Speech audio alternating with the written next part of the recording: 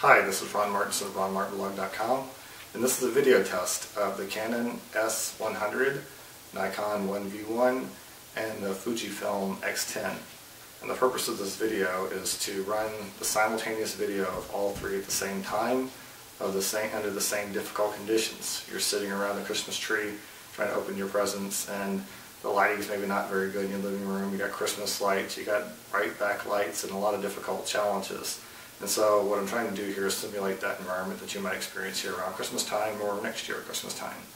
And if this does well, then you'll see how each camera does under its default settings.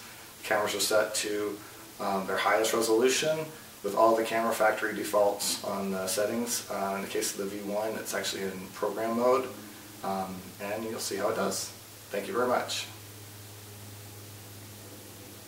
Moon, can you stop the buttons?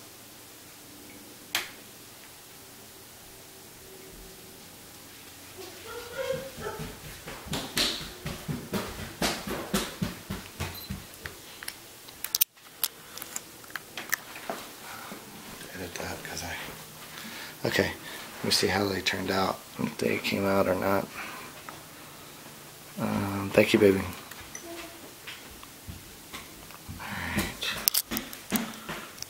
Oops.